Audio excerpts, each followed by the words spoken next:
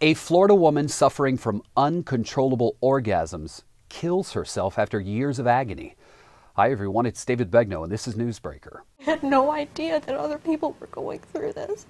And I just, I wish I could have told my mom. For 16 years, Gretchen Molannen suffered from a debilitating sexual arousal disorder that reportedly made her orgasm up to 50 times in a row. The day after the Tampa Bay Times published a profile of Gretchen online, the 39 year old woman was found dead in her home. I could have a wonderful life, but this has destroyed it. Molannen wasn't able to hold a job, she was denied disability, and was extremely embarrassed by her condition, which she described as being in so much pain. London's Daily Mail reports Gretchen attempted suicide three times before succeeding. And after her death, a Denver man wrote on her Facebook wall, Your story may at least help others.